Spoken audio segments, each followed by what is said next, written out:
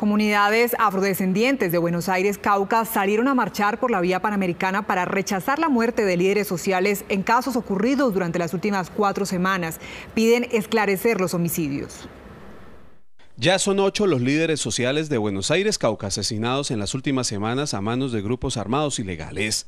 El último ataque fue a los integrantes de la cooperativa minera con granadas y fusil, que dejó dos personas muertas en la lucha por el territorio, por defender la vida, no solamente de los que estamos, sino también de los que vienen. El grupo líder de la región dice que ha recibido amenazas a través de panfletos y grafitis que son dejados en las fachadas de sus casas.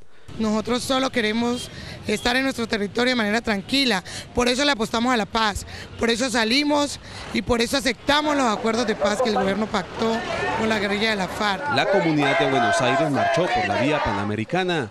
Por minutos paralizaron el tráfico entre Cali y Popayán llamaron la atención de las autoridades ante las consecutivas muertes de sus líderes.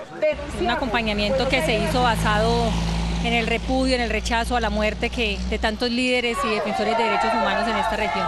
Durante la jornada también se le rindió un homenaje a los hombres y mujeres que han perdido la vida defendiendo sus raíces.